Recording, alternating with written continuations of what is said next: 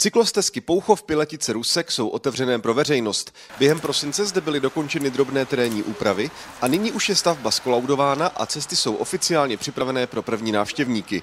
Ta stezka je naprosto vynikající. Já sám jsem tady mnohokrát na kole jel, protože máme příbuzné tedy v jedné vesničce dál a cyklostezka mě velmi chyběla, protože tím, že velmi zhoustl provoz mezi Jaroměří a Hradcem Králové na státní silnici, tak spousta lidí začala využívat tuto komunikaci, nehledě samozřejmě na to, že lidé z Ruseka, ze Skaličky a z Piletic jezdí do Hradce do práce takže ten provoz tady byl enormní a ta cyklostezka je obrovským bezpečnostním prvkem právě pro obyvatele i pro turisty. Stavba obou úseků v celkové délce necelých 2,5 kilometru vyšla na přibližně 22,3 milionů korun včetně DPH.